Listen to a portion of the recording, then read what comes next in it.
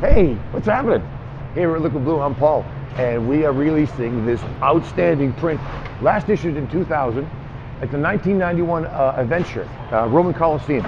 Grateful Dead played there, of course. That's the Roman theme. Anyway, so this is done by Rich Noman, and, and originally done in pen and ink in 1991.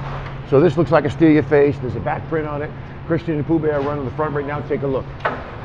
And here we go, bringing the colors on top. There's a shirt. There we go. We're dropping a green, dropping a beautiful indigo, nice golden yellow, light blue, and a beautiful crimson red. Look at that gold.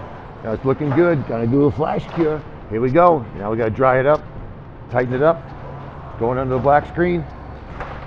Ah, yeah. Look at that bad boy. Nice. Nice. Outstanding. Get yours today.